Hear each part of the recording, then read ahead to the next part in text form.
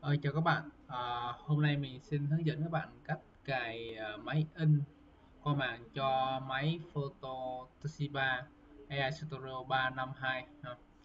Thì uh, nếu nếu nếu mà máy của bạn không có cái card mạng á, thì có thể là xài bằng USB thì cài USB thì cũng driver thì cũng tương tự nhưng mà mình sẽ hướng dẫn các bạn cách cài qua mạng. Lợi thế của máy photo thì mình cài qua mạng thì uh, photo in nó cũng nhanh hơn ha.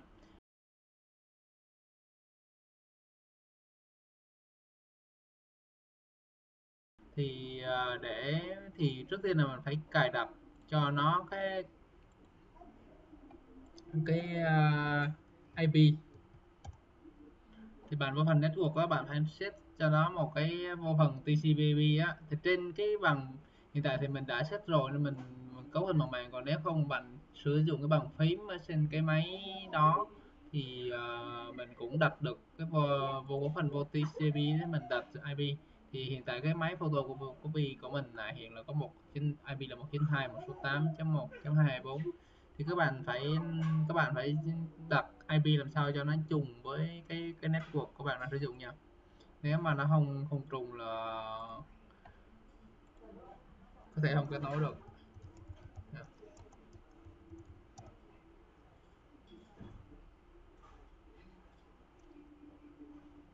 Đây, cái IP của net à, net, network của mình đây là nó trùng với cái, là 192.168.1.70 à dạ. thì các bạn tải cả thì nó trên trang web của nó thì nó liệt kê là chỉ đến đây là Windows 7 nhưng mà nếu các bạn sử dụng á, để cài cho Windows 8, 8.1, Windows 10 đều được hết nhập thì có bạn có một bạn uh, nhắn tin hỏi mình thì sẵn đây mình sẽ làm một cái video cho nhiều người. Cài luôn cái này là nó sử dụng cho Windows 10 luôn cái bộ driver này xài cho Windows 10 được. Hiện tại mình cũng đã xài rồi nhưng mà do có bạn hỏi cách như cài thế nào thì mình mới xóa đi mình cài lại nè hồi nãy mình đã cài vào trong đây rồi. Thì các bạn muốn biết cài thành công hay không thì tí nữa mình sẽ vô phần log nó cho các bạn xem ha. Nào hồi nãy mình có cài rồi nè. Mình mở lúc này. Đó giờ này. Đây tí mình sẽ xóa tí mình sẽ test lại mình cài lại mình test lại lần nữa là sẽ có giờ khác. Đây là mình đã cài thành công ha. Thì uh, cái các bạn vào cái trang web ừ, của nó có thể là tí mình để cái, cái link nào ở dưới cái video luôn cho các bạn dễ tìm. Thì các bạn bấm zip đó thì các bạn tải tất cả. Hiện tại thì mình đã tải xong rồi nè. Đây là mình đang tải nhưng mà hiện tại mình đã tải xong rồi. Trong đây. Đây mình tải xong rồi đây. Mình tải lâu mình xài rồi thì giờ mình sẽ hướng dẫn các bạn cách cài. À. rồi trước tiên thì bạn phải cần biết được cái IP của máy photo. Nếu các bạn máy nào có card mạng mới có nha. Chứ không các bạn nghe không rõ, và các bạn nói không có card mạng sao mà cái nói được? Thì các bạn không có card mạng thì các bạn có thể là xài cổng USB cổng USB thì cái bộ driver này vẫn cài xài bình thường. Không có ảnh hưởng gì. Rồi, thì trước tiên mình vào, mình cả đã tải xong cái này mình kể đi chạy đi. Mình tải xong rồi nè. Để mình giải nó lên rồi, ha. Bắt đầu mình cài vào Windows 10 nè. Mình click phải vào cái biểu tượng lá cờ Windows á. Xong các bạn chọn Control Panel cho nó dễ nha. Sau rồi các bạn chọn là hạt hardware and sound nè. Rồi driver and print nè.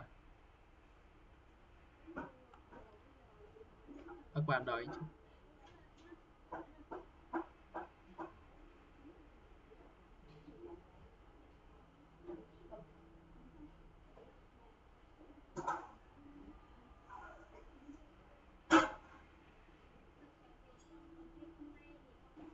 Đang lót, hơi lâu các bạn phải đợi vài chút. Thì mình nói lại nha, các bạn muốn cài máy in qua mạng ờ, in qua mạng của máy photo thì các bạn phải có một cái cạc mạng. Thường thường bạn phải kiểm tra nếu mà có thì các bạn có thể là sử dụng cái bàn phím trên cái máy photo đó, mình đặt ờ, đặt IP cho nó trùng với cái network của mình đang sử dụng nha nếu mà các bạn không không trùng thì vẫn có cách cấu hình VLAN nhưng cái đó có phần nâng cao hơn rồi thì mình không có nói đây mình chỉ đây là nói một cái mạng nhỏ thôi ví dụ như một cái IP thôi. Đây máy mình rất nhiều máy máy in nha. Thì các bạn chọn này chọn Edge uh, ờ, of printer nè. Rồi các bạn đến nó cái này thì bạn bỏ qua đây bạn chọn là the printer dash I want list nè. Rồi các bạn chọn à, uh, IP nha bạn chọn là as printer using TCP IP address. Or hostname nè. Rồi. Ok cái mặc định á, thì ở đây nó sẽ tích nè. Và các bạn bỏ cái dấu này ra nha. Rồi các bạn chọn là TCP IP device nè. Rồi các bạn nhập cái IP nó vô nè. Của mình là cái IP của mình. Cái là cái máy máy photo là 22 IP là 224 đây mình kiểm tra lại cho bạn này 224 ha. 192.168.1.224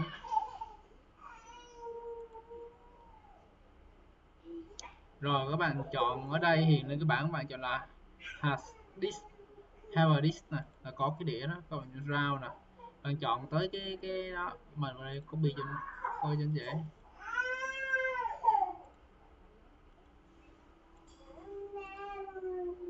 Rồi các bạn chọn là, rồi các bạn khi nó hiện lên đây, các bạn chọn là client nè rồi các bạn vào phần device nè driver á. Rồi các bạn lại chọn là PLC6 nha. Mấy cái trên này mấy mấy phát các thứ bạn không sử dụng sử dụng thôi, nhưng mình cài qua mạng là chọn là PLC6 nha. Rồi các bạn chọn là ở cái trên bạn không quan tâm, nếu cài USB USB nè nhưng mình cần qua mạng thì bạn chọn là XP Vista 6 6 x64 đó nếu các bạn chọn hệ điều hành của bạn 32 bit là 32 bit nha của mình do mình đang chạy hệ điều hành 64 bit để mình mở lại cho bạn xem. Thì mình chạy hệ điều hành 64 bit nè, ha, thì mình chọn 64 bit. Đây, mình chọn 64 bit. Rồi, có mình sử dụng tiếng Anh mình chọn English. Rồi, các bạn chọn list, chọn OK. Rồi, hiện lên cái bảng nè. Đó, cái máy photo này là S452 à, nè à, 453 series nha. Next. rồi các bạn chọn là user user this the driver nè cái dòng trên nha current user rồi các bạn muốn sửa tên gì sửa mình thì mình sửa này đi. Đó. Sửa gì là tùy mình. Rồi à, mặc định thì à, không cần xe ra nha. Cài máy in qua mạng không cần xe chứ xe khi nào mình cài máy in USB á thì máy mình mới xe sang nhiều máy cài trực tiếp qua mạng thì kia không cần xe. Đấy. Rồi ok nếu mà bạn chọn list ở đây á, thì khi mà thiết thì nó sẽ cái máy in này cái máy photo này sẽ là cái máy mặc định khi mà in. Mình không có nhu cầu chọn finish ok. Và mình vô lại kiểm tra nè. Đó hiện tại giờ là, là có cái máy Toshiba ES rồi các bạn này. Để mình test cho các bạn thấy đã cài thành công chưa nha. À, hiện tại là có một cái bản mình test á, là lúc ờ, uh, 19 giờ 1 phút ha. Bây giờ là 19 giờ 18 phút nè. Mình test lại. Green tree test. Bạn muốn biết cái IP của mình đúng hay không? Mà chọn bọt nè. Chọn là configure nè. Bọt. Ok ha. Đây rồi. Để coi đã thành công chưa nè bạn chọn này print log nha. Đợi chút nó gửi. Reset lại. Ok ha. Là lúc 19 giờ 16 phút 50 giây ok, vậy là cài thành công. Rồi, video hướng dẫn của mình tới đây là kết thúc. Các bạn nào có thắc mắc nào thì post ở comment ở dưới cái video này. Mình sẽ ờ, hướng dẫn các bạn cách khắc phục uh, chào các bạn.